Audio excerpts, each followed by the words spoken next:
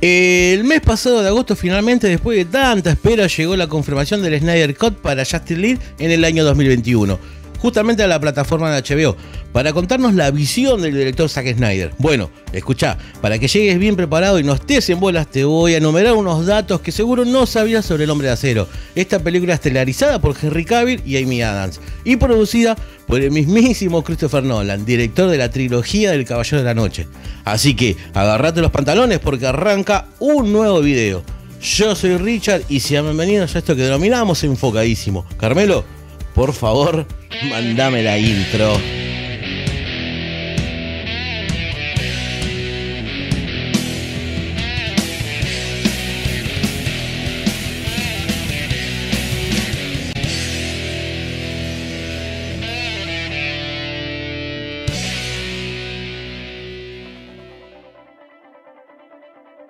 Bueno, mis amigos, denle un buen me gusta al video si es que te llegó a gustar. Compartirlo con tus amigos en las redes sociales.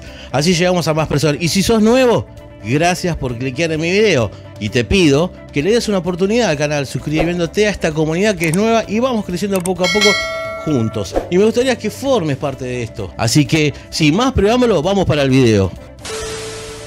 Y para arrancar vamos con unos datitos de Ben Affleck. Bueno, casualmente Ben Affleck rechazó dirigir la película porque no tenía experiencia en tomas de efectos especiales. Y cito palabras del actor. Una de las lecciones que he aprendido es no mirar en películas que se basan en una gran cantidad de dinero, porque es impredecible cuánto se gastará en efectos especiales o en dónde serán filmadas. La historia es lo más importante. Palabras textuales de Ben Affleck. Otro dato.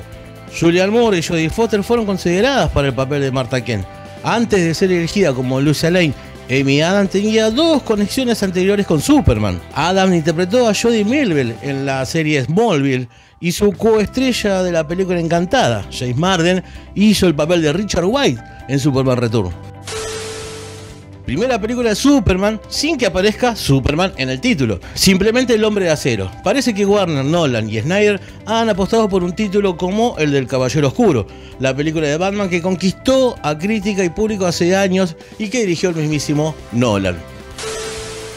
Otro dato, en el propio film se incide de esta idea de dejar a un lado el término de Superman. Cuando le preguntan al protagonista en una escena si la S que luce en el pecho es de Superman. Este contesta que es un símbolo de su planeta Krypton y que simboliza la palabra justamente esperanza. Otro dato, también es el primer largometraje sobre el superhéroe llegado de Krypton en el que el protagonista no luce sus calzoncillos rojos por fuera del traje, algo antiestético en estos tiempos de ahora. el nuevo traje, justamente el nuevo traje de Superman, tiene un aire en cuanto a la textura al nuevo de Spider-Man, otro personaje de los cómics que ha vivido un reboot recientemente. Parece más que nada una malla metálica al tacto. Otro dato, el protagonista Henry Cavill ha cumplido su sueño de colarse en una gran superproducción. Pudo participar en la exitosa saga de Crepúsculo y de hecho fue la primera opción de la autora Stephanie Meyer para interpretar al vampiro Edward Cullen. Sin embargo, los productores pensaron que era demasiado mayor para el papel, tenía 25 años y debía aparentar 17, así que al final se lo dieron a Robert Pattinson. Russell Crowe se convirtió en el segundo ganador del Oscar en retratar a Jorel, justamente después de Marlon Brando. Crowe tuvo una vez una canción con su banda Rusle Rock, justamente con un tema que se llamaba Quiero ser como Marlon Brando. Cosa de loco, de no creer. Bueno, si querés saber más datos sobre Superman The Movie del gran director Richard Donner y pronunciada por el recordado y grandísimo Christopher Reeve, acá arriba, a la derecha, justo ahí, te dejo una tarjeta. Esa te llega el video de Superman The Movie. Anda a mirarla y después volvés. No te vas a arrepentir. Otro dato. Cavill, de descendencia inglesa, fue el primer Superman no estadounidense, no obstante, no va a ser el primer superhéroe británico, porque parece que últimamente prefieren el acento british al yankee. Christian Bale y Andrew Garfield han protagonizado las nuevas sagas de Batman y Spider-Man respectivamente, y los dos son británicos. Otro dato. Ya pudo haber sido Superman en otra película. Bueno, Superman Return del 2006, pero al final el papel se lo llevaron, se lo llevó Brandon Root. Esa versión se estrelló en taquilla, así que el destino le ha dado una segunda oportunidad, mucho mejor que la anterior. El hombre de acero, justamente.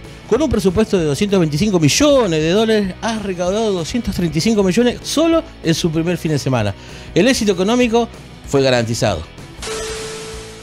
Otro dato, para convertirse en el superhéroe de traje azul y la capa roja, Cavill recurrió a Mark Twain, quien fuera el entrenador personal de Shooter Butler para la película 300. El entrenamiento del actor protagonista para El Hombre de Acero ha consistido en innumerables sesiones de levantamiento de pesas, ejercicios cardiovasculares para quemar grasas y una dieta de 5.000 calorías diarias al principio, que luego pasó a 2.500.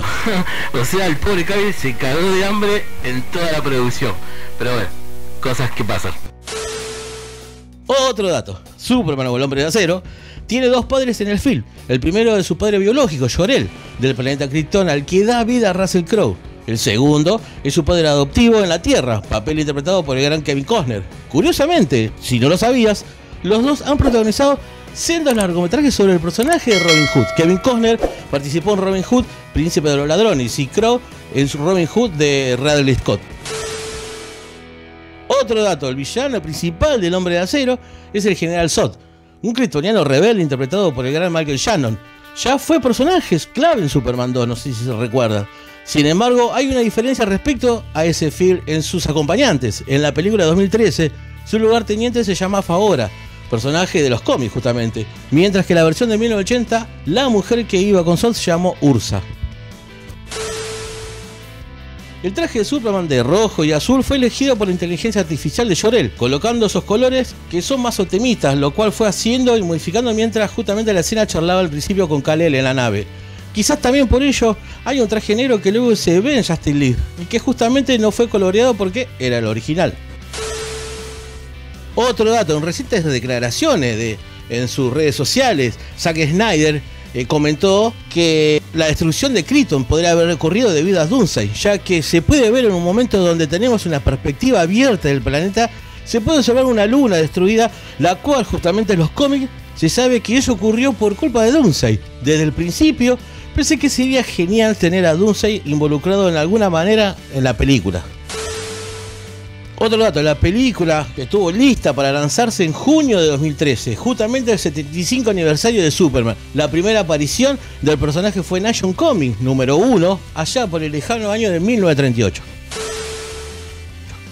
Bueno, mis amigos, con esta última curiosidad hemos llegado al final del video. Mil gracias por llegar al final del mismo. Compartirlo a tus redes, dale un buen me gusta y suscríbete si sos nuevo.